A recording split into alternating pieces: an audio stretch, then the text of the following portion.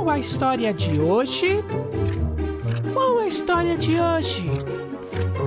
Qual a história de hoje?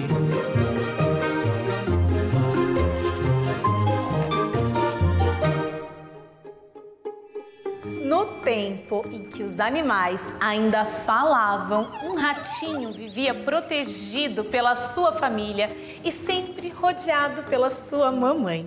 Mas finalmente chegou o dia de fazer o seu primeiro passeio sozinho. Ele ia sair do colinho da mamãe e ia dar aquela volta na cidade. A mãe ainda divertiu. Meu filho, tome cuidado. Chá comigo, mamãe. O ratinho subiu no seu triciclo e saiu pedalando, pedalando, pedalando e se maravilhando com tudo o que via. Viu árvores altas e árvores baixas. Viu flores de todos os tamanhos e cores. Viu pernas longas e outras curtinhas. Viu automóveis, motocas, pessoas, todos os tipos de automóveis, todos os tipos de gente. Mas tiveram duas criaturas que chamaram muito a sua atenção. Um bicho que era feio, horroroso, e o outro era maravilhoso. Aqueles bichos chamaram tanta atenção do ratinho que ele decidiu voltar para casa, correndo, pedalando o mais rápido que podia para contar tudo para sua mãe. Mamãe, mamãe, mamãe! O ratinho chegou todo oriçado e a mãe disse: Meu filho, se acalma, respira fundo. Agora conte, você se divertiu? Você gostou do seu passeio, meu pequeno?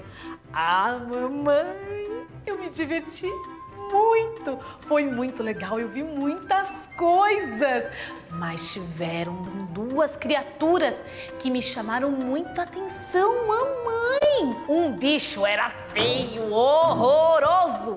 E o outro era maravilhoso. É, meu filho, me conte dessas criaturas. Comece por essa que você achou feia, horrorosa. Ah, mamãe, um bicho esquisito. Tinha a perna toda enrugada, umas patas assim que ficavam ciscando, umas penas que eram disformes. E na cabeça, uma coroa vermelha, molenga, que caía para um lado e para o outro. Caía para um lado e para o outro. Para um lado e para o outro. E no final, com um bico esquisito, ele fazia!